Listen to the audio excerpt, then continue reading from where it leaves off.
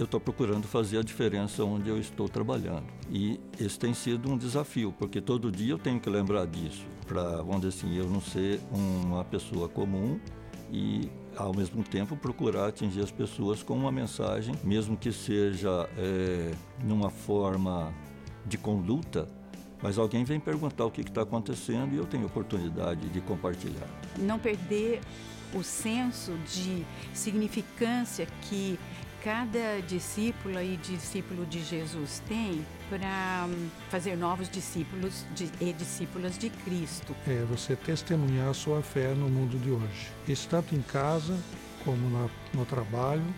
Eu que tenho uma profissão que lido muito com pessoas, né? eu vivo isso todo dia. É, vejo as pessoas realmente bastante desesperançosas e, e, nós temos que dar um testemunho de esperança, né?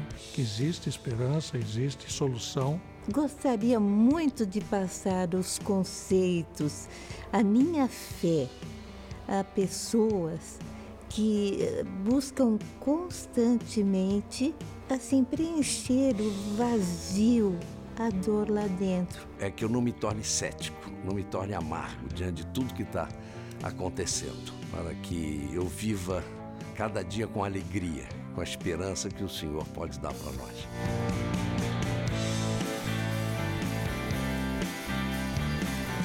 Poder continuar independente, saudável, para não ser um, um peso, um sacrifício para nossa família.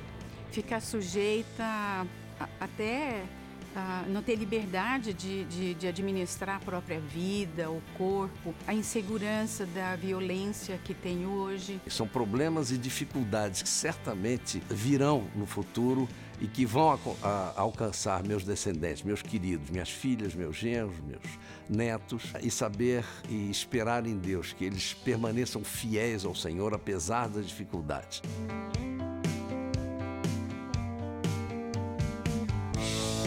É de mais e mais pessoas da igreja de assumirem mais esse seu papel de fazerem discípulas e discípulos de Jesus até que Cristo volte. É de terminar de compor o meu segundo livro e, por enquanto, o, o título é Aprendendo a Gostar da Bíblia, Lições Bem Práticas. O meu maior sonho seria morar numa cidade praiana tá? é, e levar comigo a minha igreja e a minha família estendida. Alguns sonhos eu já, já vejo eles se concretizarem. São os meus filhos, meus descendentes, vivendo na presença do Senhor, envolvidos na proclamação do Reino de Deus e que eles possam ser bênçãos nas mãos de Deus para outras pessoas e que isso continue nos anos que eu já não possa mais ver. Desde os meus filhos, minhas noras, meus netos, todos estejam voltados, né? Para uma vida onde o Senhor seja soberano da vida deles.